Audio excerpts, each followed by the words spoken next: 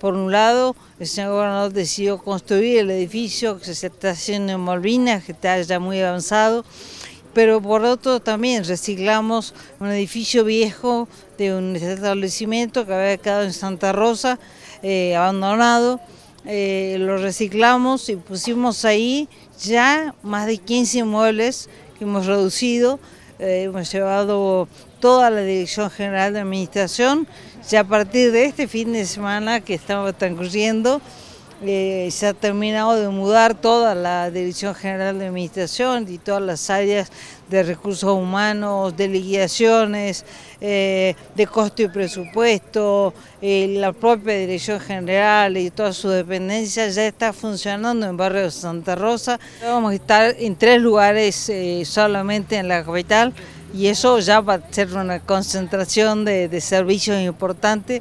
no vamos a poder estar todos juntos todavía, hay una segunda etapa del edificio ministerial eh, que se empezará a posteriori, pero por lo pronto ya vamos a estar mucho más eh, unidos trabajando y eso es vital para organizar la tarea.